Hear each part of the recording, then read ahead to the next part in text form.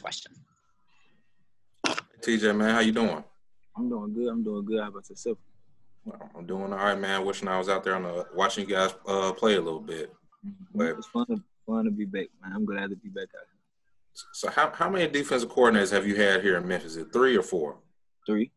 Yeah, it's my third one. My third one. What's the challenge like in the all season, just getting adjusted to the to a new coordinator? You guys got Mac, uh, Mike, Mac, Mike MacIntyre this year, excuse me. So, what's his coaching style been like, and are you just kind of used to kind of switching it up every all season? I mean, uh, main thing is just um, getting together and just learning the terminology because most of it be the same plays and the same schemes and stuff like that. You just it's just different terminology. So once we learn the terminology, then it's it's, it's good from there.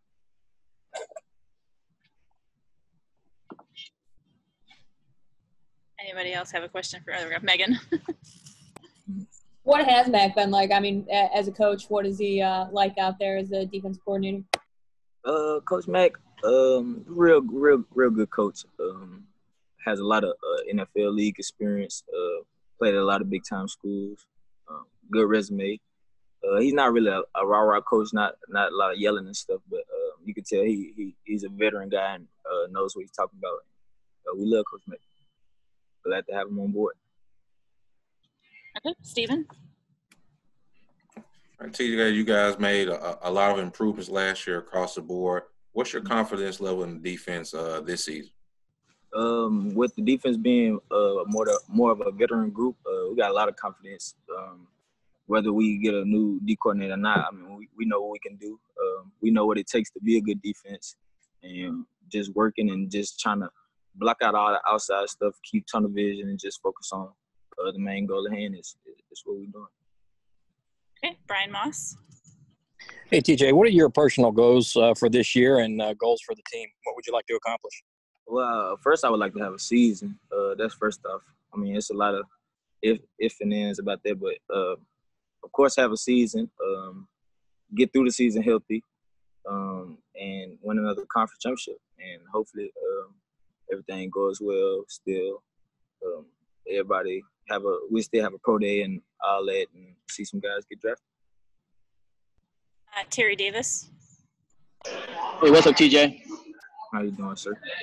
Hey, uh, what's your mindset and confidence level going into this season? Uh, mindset is uh, had always been to be the best corner um, in the nation, uh, best corner in the conference. Uh, uh, I want to be a Thorpe finalist, probably win the Thorpe. Um, I got a lot of high expectations for myself. I want to be All American, and the only way we're gonna do that is, I mean, if our team good. If the team good, then the accolades are gonna come with it. So my main focus right now is making sure the team right, making sure we all know our keys, our clues, making sure we are working together, bringing the young guys along because I mean we might need them. Uh, somebody get hurt, they're gonna have to step up. So um, main goal is just building that bond with our teammates, bringing them young guys along, and just taking it uh, one day at a time. Okay, uh, Megan Rice, WREG. You mentioned, you know, your first goal is obviously just for you guys to have a season. Um, just with so much uncertainty out there right now, can you feel like when you guys are taking reps, can you sense that there's that uncertainty out there? Are you guys trying to make every single rep almost act like it's your last? Because it, it could potentially be your last. Uh, we do exactly that. Um, I mean, we go out there and treat every practice, every rep like it's our last. Um, especially me because I was injured last year, so I had a lot of time just to sit down and think, and it makes you appreciate the game more. So I'm just glad to just be out there, just to touch a football, to be around my my teammates and and stuff like that. So like I said, we just having fun out here, and if we have a season, we have a season. If we don't, then we don't. We, it's it's kind of out of our control. So Okay, Brian Moss. Hey, TJ, talk about going against uh, the Memphis wide receivers. Uh, who's the toughest to guard against, and who's the most fun to guard against? Uh, I say, of course, Damonte Coxie, um, uh, the best wide receiver in our in our conference, one of the top top five in the nation to me. Um, but a surprise, uh, uh, another one that's that's right up there with him, I say is uh, Calvin Austin. Um, he's came a long way since he first uh, stepped on campus. Real, real track speed, elite track speed, and he has great routes. I say, I say the hardest person to guard for me is Calvin, but Monte just a dog. You see what I'm saying? He he, he just do what he do. So Yeah, y'all missed TJ and Damonte at it today already. Uh, hey, Steven? TJ, I kind of want you to uh, self scout yourself for me. What What are your strengths as a defensive back, and what are the areas you felt like you kind of grown the most over the off season?